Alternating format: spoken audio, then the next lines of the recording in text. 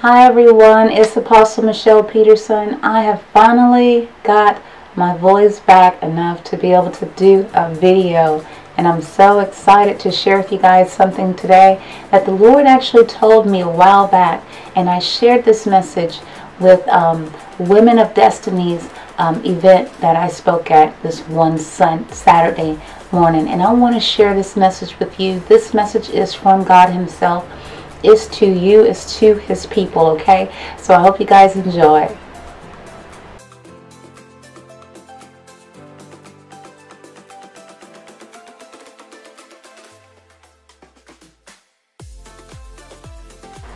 So this message is a very powerful message. The Lord is going into details about who He is and um, and how he feels towards us. So I hope you guys enjoy this. Also, I am going to copy and paste uh, this uh, his words and put it down in the, the description here that you can actually copy and paste it so you can have it with you. Okay, so here is the message. This is the Lord saying, Most people don't focus on me or consider me in their lives.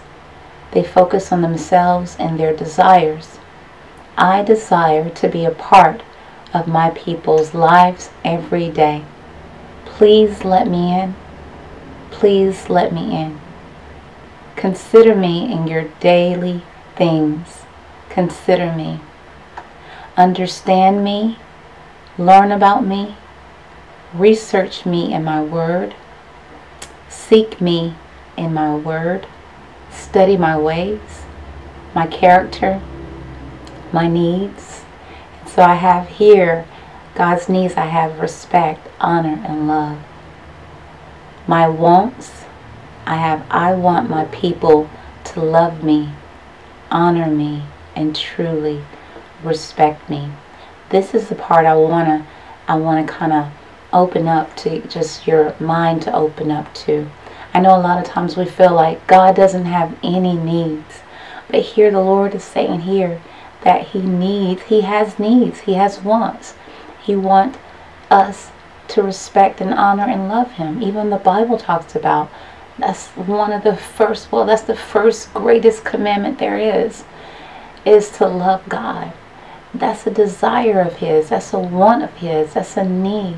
He wants and needs for us to love, respect, and honor him. So it's beautiful here that he actually says that. He wants us to understand and learn about his heart. He says, my heart, my love, my will. And so then here, he's going to go into more details about him. He says, I am pure. I am free from sin. I am free from evil. I am holy. I am blameless harmless, pure. Everything about me is pure. My thoughts, my plans are pure. I am pure. Everything I do is pure. My heart is pure. Love is who I am. I am love. Come and be a part of my plans. I am meek and low in heart. I am gentle. Spend the day with me. Open up your heart to me. Draw close to me. Trust me. Seek me and find me. Open up your heart to me. I want the people to know me I honor those who honor me. I trust those who trust me. I will give you all things if you believe in me. Come, I will give you rest.